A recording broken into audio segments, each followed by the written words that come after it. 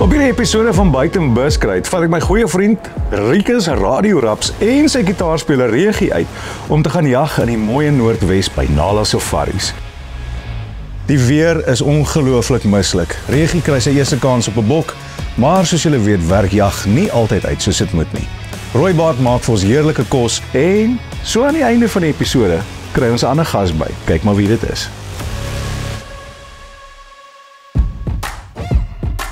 Ek is Antas. En ek het groot geword in die Afrika bos. Met 'n Mauser teen my sy, my voete in die sand en biltong in my gatsak. Ek jag en vang al vis van kleins af en ek het 'n paar vriende genooi om saam met my te jag en dalk so 'n bietjie vis te vang en hulle stories te deel.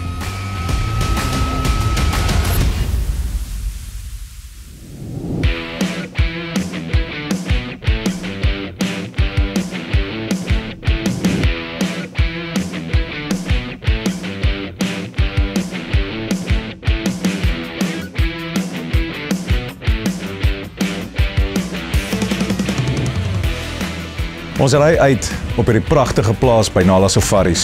Ons bly in die 5-ster akkommodasie van Nala Lodge hier in die Noordwes Transvaal.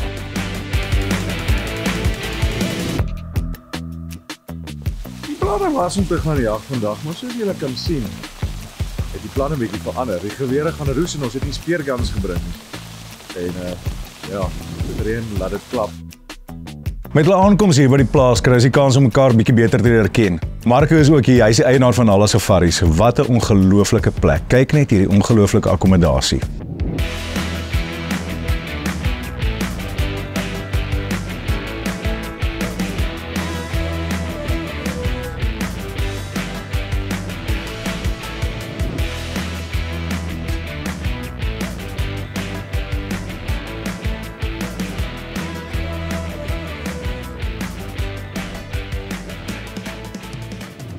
Ons het nou net hier aangekom by Nala Safaris hier by Marco Smit se plek. Wat 'n wonderlike voorreg. Damies, baie welkom. My chomp, baie dankie dat julle my genooi het. Hoe weet ons jou baadjie is waterdig? Weet ek ek sê wys, maar ek het nog nie nat geword intussen nie. ja, en ek sal jou sê hy's waterdig. Want hy is Wie is hier hier langs my? Regie Degie, How's it? die gitaarjare. Jy, Welkom. Regie? Nee, lekker in jou aras. Ek hoor jy's 'n professionele jagter, honderde bokke op jou kerfstok. Kyk my, ek het al 'n 55 duim kaliber. hy sê net goed. sy eerste keer, sy heel eerste keer. Baie nervus. Welkom, welkom. Nou Marco, jy's wonderlik dat ons weer by jou kom kuier. Baie Dankie, dankie. is lekker om julle hier te hê. Dis uh dis 'n voorreg vir ons. Wat gaan ons doen want ons maak twee episodes hierdie jaar by jou. Ja. Een is met dummies. So hierdie is 'n grootte. Ons het probeer om vanoggend uit te gaan, maar reën het ons bietjie gewen. Hy, hy sal nie weet nie. Ja, Ek weet nie of jy gesien het my Hy's baadjie droog. bly droog. So ja, ehm um, daar is op die een episode gaan ons met Rikus en met Regie en met jou twee waterbokke en 'n uh, gouwillebees probeer kry. lekker man. Hoor hierso ons het daarom nie Leon die aangekom nie. Ek het nou al vir jou skilpad tepel gin gegee, maar hierdie is van die manne van SSG af. Het vir jou hierdie koeler sak Baie gemaak. baie dankie. Um, ek hoop jy geniet hom. Baie baie dankie. Hier my Ek maat. waardeer. Regie, ek het nie geweet jy kom ook nie. Ehm um, Ek ook nie. En- Maar dan moenie worry nie. jy uh, het in 'n geval nie 'n geweer nie. Ek het 'n lekker 300. Wat is dit? Sien, hulle is myne. Daarom het ek vir Damie se sak gemaak Oh, oh, laat maak van SSG Baie ook af. dankie. Ek love hierdie sak. Dit is Ja. incredible. Dankie. Dis hier nou. Vir hulle ook. Yes boys, baie dankie. Ek love dit. Dit is incredible. Kom ons gaan kap 'n bok voor die reën ons weer vang. Ons behoort net te sukkel met 'n waterbokkie. Ja, yes. Het julle het julle fins en 'n mask hier so want ek het 'n speergun. Die rede het ons 'n bietjie van 'n van 'n gap gegee. So ons gaan nou gou skietbaan toe en net so vinnig kyk of alles nog werk en of hy of hy goed nog skiet waar hy moet. Maar die aard van die saak is hy nie skiet waar hy moet nie, is dit die gun se skuld. Ja, Standard. Maar ek sien vreeslik uit. Kyk hoe groot daai waterbok is. So, goed dit reën, so die waterbok is obviously in hulle element. In die aard van die saak. Stilwaterbok. Chom, ek gaan nou vir my eerste keer jag. Wat moet ek doen? Nee, ons gaan dit vir jou baie lekker maak. Jy moet net rustig raak. Ons gaan nou skietbaan toe. Dan gaan jy 'n paar skote skiet met 300 en dan gaan ons jou op jou eerste bok sit. Lekker aras. Is jy reg om 'n bietjie te gaan skiet? my matie ek so reg soos hoe is jy reg? Dis jou eerste jaar. Nee, dis kom 'n kamera. Ek gaan maar 'n kamera vas sodat ek nie 'n gun hou vashou nie. Kan nie waar. Wat skiet ons vandag? Man, ehm um, Dummy skiet 'n waterbokbal. Ja. Ek skiet 'n waterbokbal. En jy is baie gelukkig want jou heel eerste jag is 'n goue wildebees. Nee, daai is heeltemal te veel pressure vir my. Ons gaan jou mooi wys waar om te skiet want dis die armman se buffel. As jy hom kwes dan gaan wys hy vir jou die plaas. Hierdie is 'n 5000 hektaar plaas. Onaangenaam. Natuurlik met ouer gewoonte op buitenbuskruit met ons eers skietbaan toe gaan. Daarom kyk of alles in skoot is. Hierdie was nou vir jou 'n paar lagoomblikke wat ek nooit sal vergeet nie. Regie, jy gaan jou eerste boks skiet. Hoe voel dit? Ek's nog bietjie nervous. Ek het blykbaar die teiken raak geskiet. Ek het dit nie gesien nie. Dis 'n mooi is beter as as ou radio. Debatable. Ag nee, maar dan gaan skiet ek 'n buffel. Let's go. Hoor hierso, ehm um, vertel 'n bietjie vir die mense wat hom nou nie regtig so goed ken nie, want hy tree nogals op op groot plekke. Regie DG het eintlik besluit om terug te kom. Het ek my hoed aan soos 'n idiot. Yes. Ja, ek het geskiet, sorry. Maar Ehm, jy doen by al jou shows ook soos Ja, maar dis 'n skuins en dit vang water op. Dis actually 'n lang storie. Okay. So Regie is is 'n is 'n musikant slash vriend. Meer 'n musikant. En hy hy was vir 'n hele rukkie bietjie in in, in Duitsland, reg? Ja. Ons is nou hier by Scheiser Reineke. Shaya, soos hy ken Shaya Reineke. Die locals sal dit love, hoor, by the way. En ehm um, die man is is 'n is 'n is 'n krangige musikant. Hy het vir 'n paar groot name gespeel wat hy baie name draai. Hy sal hy sal vra net eintlik om speel ek gitaar as hy self vir jou sê. Ja, ek ek het die name so Snow Patrol hier op die tafel is hom net so gegooi hierso. Soos 'n los klomp sleutels. Ja. So gegooi. Uh vir Robbie Williams oopgemaak. Klein dingetjies. En dit is so lekker om hom weer terug te hê in Suid-Afrika. En ehm um, en ons het so gechat en en toe julle ook met my praat oor oor die great geleentheid by die Noise Lodge en als. En ehm um, ek gedink, "Yes, ek meen, hy's eintlik met sy gat in die botter geval." Ja, ja, ja. vir hierdie tipe level, een van die mooiste plekke wat ek al gejaag het. Eintlik die mooiste Ja, setup pragtig, nog. ja. Dis ongelooflik. As iemand ooit 'n as jy dit kan doen, kom dis 'n te tik is om hier te kom jag. Dit is Ja. incredible. Ja. Nee, is ongelooflik. Ek is baie gelukkig om hier te wees. Ehm um, ons gaan nou sien wat gebeur. So boys van hier af gaan ons nou jag, maar maar daar's 'n kompetisie op buitenbuskruit wat ek nie vir my gaste vertel voor die tyd nie. Want dan trek hulle klein koppie en wil nie meer kom nie en so. Jy het 10 sekondes. Jou skietstok is al klaar reg staan. Jy moet die geweer laai, op die skietstokke sit en op 100 meter so na as moontlik aan die middel kom, die boel. 10 sekondes. Yes, ons tel krokodille af, so een krokodil, twee en dan moet jy Vir my net ook soos een maar wees meer spesifiek op die krokodil. Yes. Een groot feit nail krokodil. Okay. Dat ons net 'n bietjie gap kry daar. Nee, is reg. Reg boys. Jy weet ook is my eerste keer. Let's go. Regie is eerste op die skietstokke. En dan my goeie vriend Rikus. Okay Regie, jy ken die reëls. Ek 10 krokodille. 3 2 1 go. 1 krokodil, 2 krokodil, 3 krokodil, 4 krokodil. O, jy is daarso. 5 krokodil, 6 krokodil, nyl krokodil, lang Nee, nie vuil sien krokodil. nie. Albatros tel slot op. Dit voel vir my asof Regie die krokodil tel storie nie so lekker verstaan nie. Reg is jy reg? Ja, ek dink so. 3 2 1 1 krokodil, 2 krokodil, So, né? 3 krokodil, 4 krokodil, 5 krokodil, 6 krokodil, Dis my ding is 7 laag. Krokodil. krokodil, O, kan ek o, gaan hy so? krokodil. Ons gaan geduldig wees hier, so ons gaan die krokodille weet. Ek het nie geweet hierdie ding kan so gaan nie. Sorry. Okay, Regie. Jou krokodille begin in 3 2 1 1 krokodil, 2 krokodil, 3 krokodil, 4 krokodil, 5 krokodil, 6 krokodil, 7 krokodil, maar 'n Nyl krokodil, 'n vuile en 'n lange. 4 alligator, 3 krokodil op 3. Regie was dit? Ja, ek weet nie. Lekker, maar ek dink ek het dalk in Pretoria aangeskiet, maar ons sal maar sien. Regie kry sy kans vir die eerste keer agter 'n roer. Hy skiet nie te sleggie, maar ek sal hom ook nou nie heeltemal sê 'n ervare jagter nie. Dan is dit Rikus. Okay, dames. Okay. Jy's 'n gesoute jagter. Hierdie beurt vir jou maklik te Nee, wees. nie dit sê nie. Jou krokodille begin in 3 2 1 1 krokodil 2 krokodil 3 krokodil 4 krokodil 5 krokodil 6 Het nog tyd gehad. Jy kom mooier gemik het. Pressure man. Waar lê hy? Kom so kyk.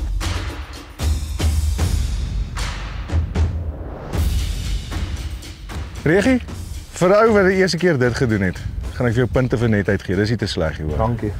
100 meter vir ou wat ervare is wat eintlik beter as dit moet doen. Baie beter. Ek het klein bietjie die dartbord misgegooi daar, maar Ja, ja. not too bad. Maar ons het een skoot hierso. Daar's dummies. Dummies dis 'n doodskoot op 'n olifant Altyd. ja.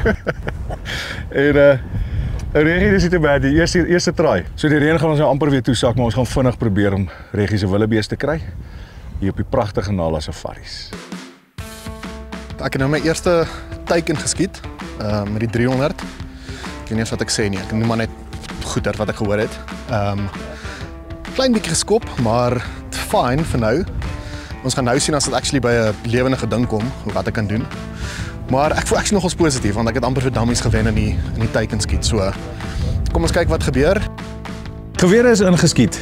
Ons ry uit op hierdie pragtige plaas by Nala Safaris. Daar steek 'n reuse weer in die agtergrond op. Ek hoop ons kry kans om te skiet. OK, ons nou afgeklim. Ehm, um, ons gaan kyk of die wildebeeste hier voor kry.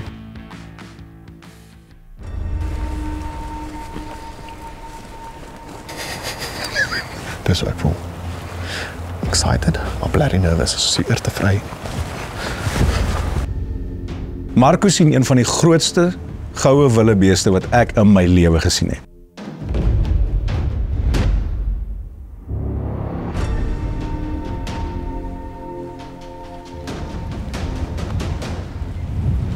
Baie naby, is daar 'n groot trop wildebeeste net hier voor. En die wind waai lekker in ons gesigte en sterk wind. Ons gaan nou skiet.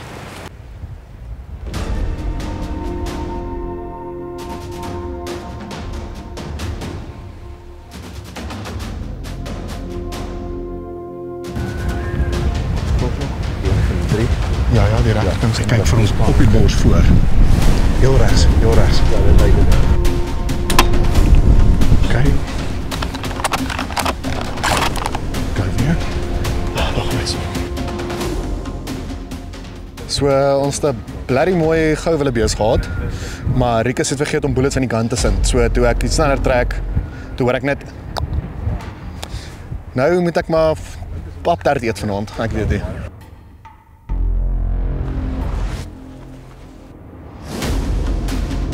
Hy kry die kans om aan te lê.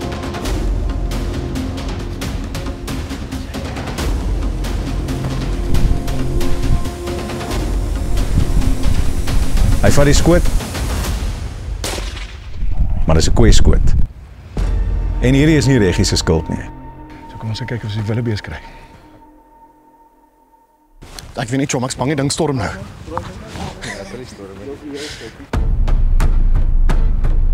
Ons vat die bloed. Ons is nou op die spoor van daai wildebees. Reggie het eintlik 'n bittermooi skoot geskiet. So hy bly bloei. Ons sal seker hom nou kry voordat die reën ons kry.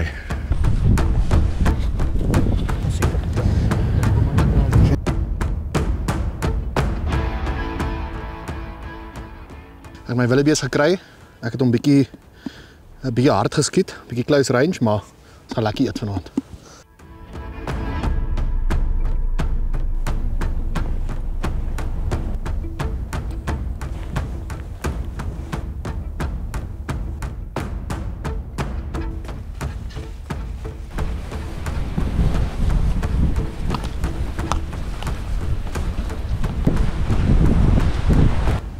As jy die eerste keer jag, is dit nie noodwendig dat dinge altyd eerste keer gaan reg uitwerk nie.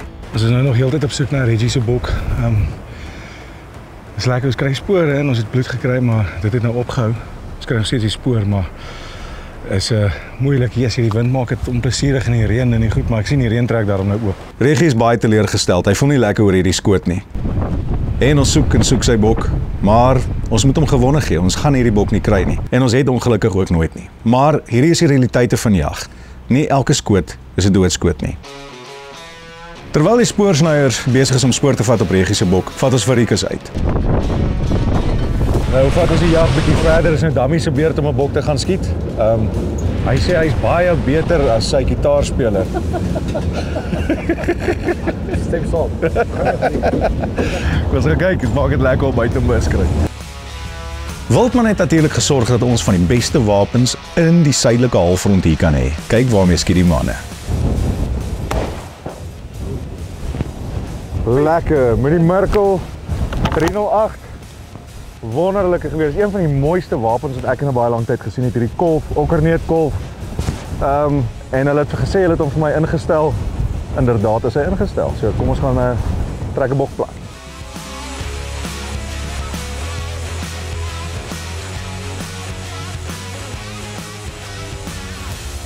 Okay boys, sien hier weer. Damies, jy droog? Ja. Sien reg is nie. Maar, maar nou, ons kan niks anders verwag nie, maar dit is 'n water. Is dit water? Ja, so hier is uh, die waterbokke hou van hierdie area en ons 'n groot onderstuk. So as ons hulle bam, dan gaan hulle maar 'n stuk in harte van ons hoor beskryf dit as hulle hier is. So.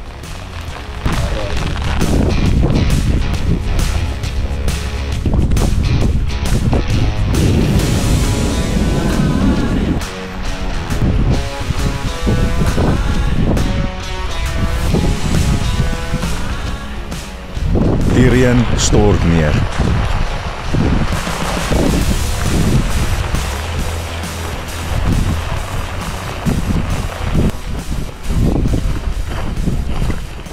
Hierdie was nou nie een storm nie, dit was vier storms na mekaar wat ons so toegesak het.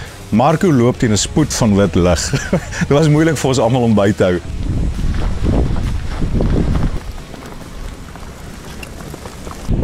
Rikus raak moeg. Ons kameras reën sop nat. Dis moeilik om te film. Onderbroeke is nat. Dit is eenvoudig nie jag weer nie. Ons loop nou 'n bietjie en soek. Obviously my asem is bietjie hoor. Dit is 'n moeilike dag. Dit is wind, dit is reën. Dit is al daai goed, maar dis maar ding, jy moet maar die werk insit. En dan eventually Hey. Dis 'n nice ding. Ons check maar my fitness goed werk hoor. God, moet 'n bietjie lig. Daar's 'n oop vlakte. Dit lyk soos 'n savanna. Dit is ongelooflik mooi. En die bokke staan. Hierdie ouetjie staan nou seker op 3 km ver van hier af in 'n oopte, ver ver oop. So ons gaan hulle probeer uit die die bosse gebruik as 'n skuilings, maar ons wind waai daai kant toe. So ons gaan met 'n plan beraam. Is mooi hier. Die savanna is propvol diere. Dit is pragtig.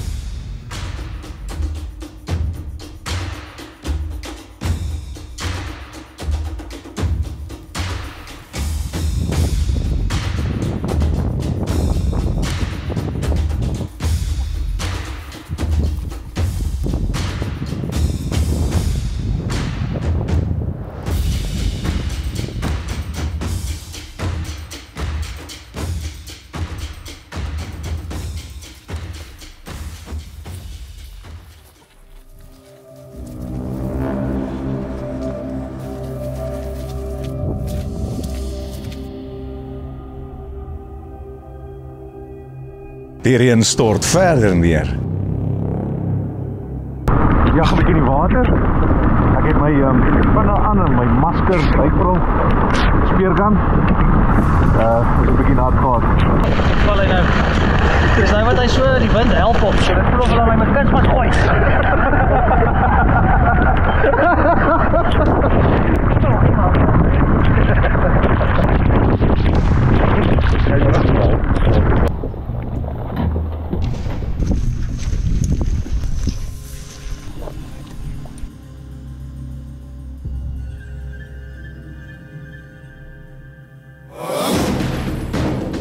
En so kry Rieke se beurt op sy bok.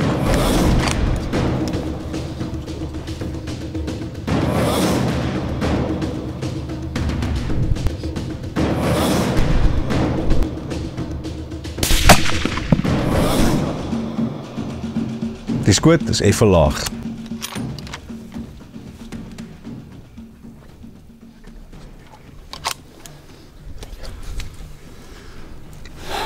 Gaan nou sien.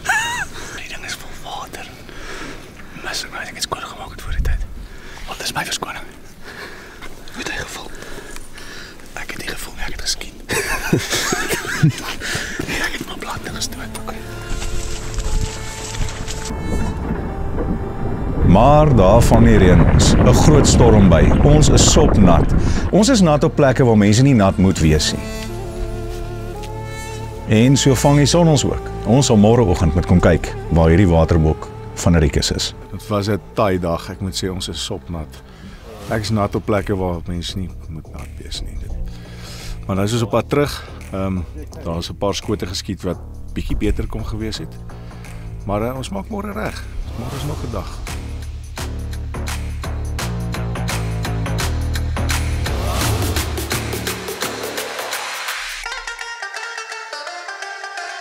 Dag 2 breek. Die weer is uitsonderlik baie beter as gister.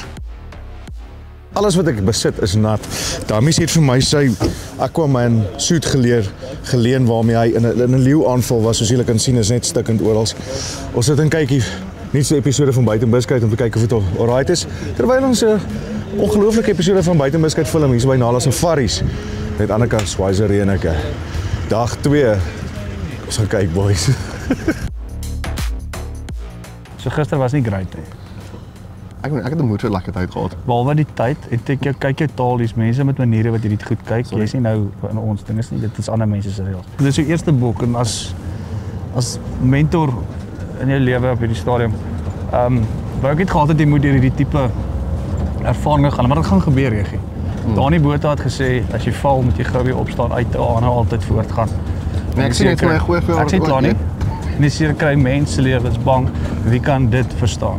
Moet dit asseblief nie wees miskien vandag nie en ek weet, ek wil nie jy moet vir my ook sê ek ook kan goed nie want ek weet dit omdat ek senior is, het ek dit besef en ek het daar gisteraan oor gedink en ek gaan dit remedieer. Wil jy iets sê? Myne was twee keer verder as joune. Dit is nie wat ek gesê, dit is nie wat ek vir jou gevra het nie. En ek het nie vir jou gesê gaan dit enigstens nou produktief wees as ons mekaar se selfvertroue met daai knak. Ek sê mos nou, dis verby. Of kan jy nou iets sê? Ja, maar ek weet nou beskik maar alles gesê. Nee nee, dit sit weet. Nee, Nog net iets. sê jy was joune was twee keer verder as Kyk, myne. right, dankie. Kom ons gaan skiet besoek in die bokke. Het nou in die kamp ingery waar ons gister was waar Rieke sy bok geskiet het. So dis waar ons gaan kyk vir 'n volgende waterbok. Dit is yskoud vanmôre soos die eerste tekens van winter waarvan ek hou. Die jagseisoen is naby. Ons ry die Putupa brand eers in 'n stad. En ons ry die waterbokke ook.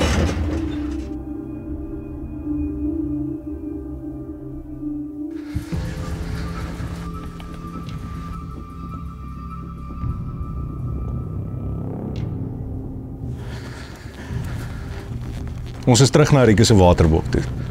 Ons is op sy spoor, maar ons kry eenvoudig nie hierdie waterbok nie. Ons soek na daai waterbok Paul wat gehardloop het. Hy is in die rygebos in. So op ons kan hom trek dat hy weer nie oop te kom.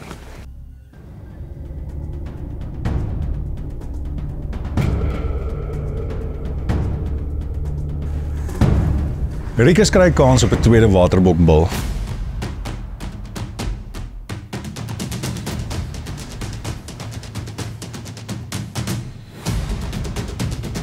Die man lê aan. Hy lyk kalm, hy lyk rustig. Trek die skoot. En hierdie keer maak hy geen fout nie.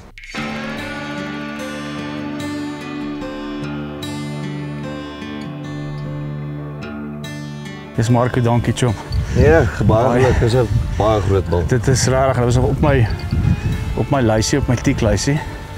Ek blaas so dis so 70% aanfit en 30% 20% rash en 10% opgewondenheid. Jesus, want dit is nog altyd 'n Ongelooflike mooi bil. 'n mooi tik en julle Jesus, want julle het julle het nie een van hierdie goed hier nie, julle trok hierso. Dis dis incredible. Hulle is hier. Hulle is Hulle hier. is hier. Die ouens moet uh, julle moet regtig kom. Nalo Lodge, dit is incredible. Dankie, ek waardeer dit. Dis Nee, dis baie regtig 'n dankie, baie groot tik geluk. vir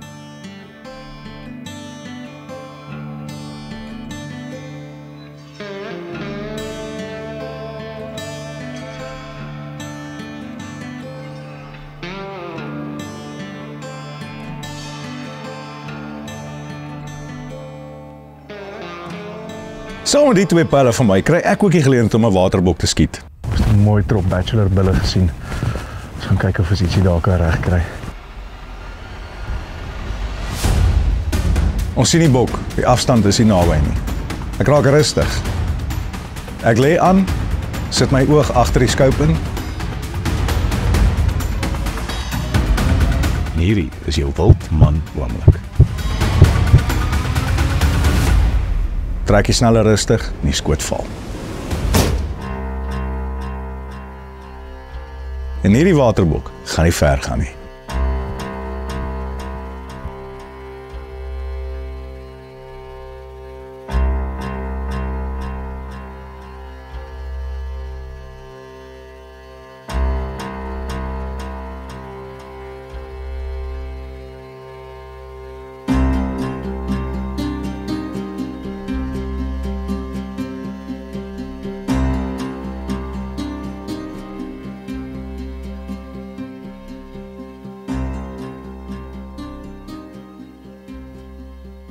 Marco, wat sal jy hierdie ouetjie skat? 28 28 duim. Roland. Mooi.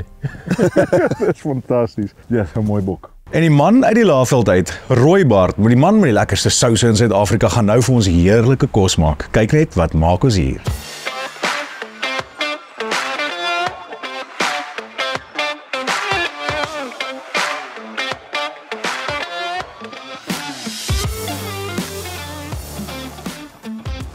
Welkom by die kos insetsel van Buitenbiskuit. Langs my staan die boere chef par excellence, Jacques van Rooibaard homself. Jacques, baie dankie. Welkom hier ons vandag hier by uh Hentie van der Merwe, Alkmaar Nelspruit. Ek gaan vir ons baie lekker kudu smash burgers maak. Okay. Lekker plain en simpel is iets vir die jagtrip, iets vir by die huis. Ek gaan jou in die werk sit. Ek gaan solank vir ons die die patty mengsel aan mekaar maak Okay. en dan gaan jy vir ons die avou en die tomaties vir ons sny asseblief. Fantasties.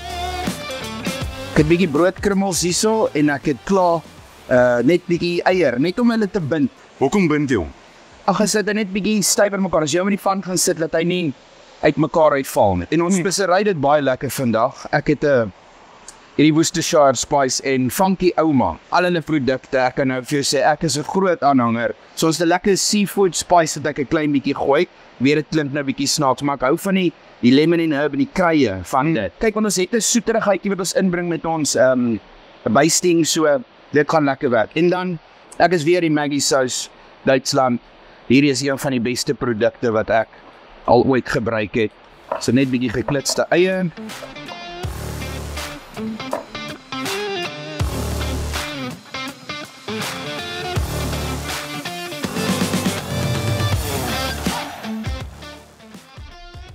Mens moet verstaan dat wild het nie antibiotika nie. Hulle is vrylopend, hulle is grasvretend of blaarvretend afhangende van wat jy skiet. Dis die skoonste vleis wat jy letterlik in die natuur kan kry. En dis hoekom ons jag en dis hoekom ons ek vermoed in my huis gesond is. My mense word nie siek omdat ons weet wildsvleis. Ja, hulle word siek hier en daar, maar ek praat van ernstige siek. Daar's Die voere en goed wat hulle eet, né? Is uit en uit veldkos. ek hoop dit is die vleis wat ons eet. Wat die oorsaak is dat ons 'n gesonde familie het. Dis Um, ek glo so, ek glo so. Gooi jy vir ons bietjie uh olie in die pan asseblief. My hande is vuil. Lekker. Ek maak dan net 'n lekker balletjie, so groot soos 'n tamatie omtrent. En hy's lekker kompak. So daar's sy. Ek sien vreeslik uit na hierdie burgers. Ek druk hulle nie te plat nie. En daar's sy. En Adam, ek dink ons kan so lank ons met die broodjies tuis.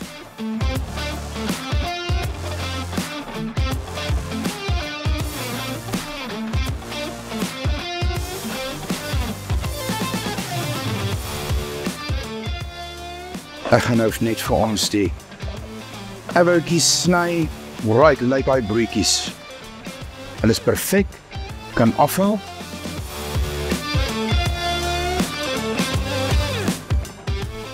Lekker soet gebraaide eie. Ek hou van 'n agurkie op 'n burger. Daai sirappie en wat bykom. Dan het ek my sommer net 'n burger sous. Ek hou van hierdie Mr Sauce. Hulle werk lekker.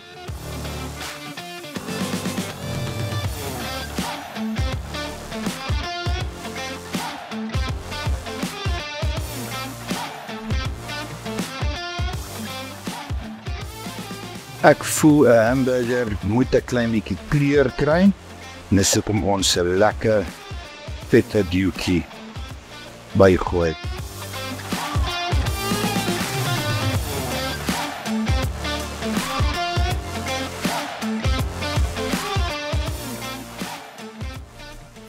Jock, hierdie is 'n hoër vlak van kuns. Dit is 'n baie eenvoudige dis wat maklik gemaak word wat jy net druk hom plat, hap hom. Jy gaan my nie twee keer nooi nie. Druk hom plat, hap hom. Jy het nog geen man ontmoet wat dit in sy mond kan kan. Kom ons kyk. En is 'n morsige storie. Hierdie was 'n lekker jag, maar 'n bitter moeilike jag as gevolg van kondisies. Een van daai jagte wat ek nooit sal vergeet nie, want ek het nog nooit in sulke stortende reën gejag nie. En hierdie twee manne ook nie en dit kon nie vir Reggie maklik gewees het nie. Maar op pad terug kamp toe ontmoet ons een van die wêreld se bestes, topmense en sy naam is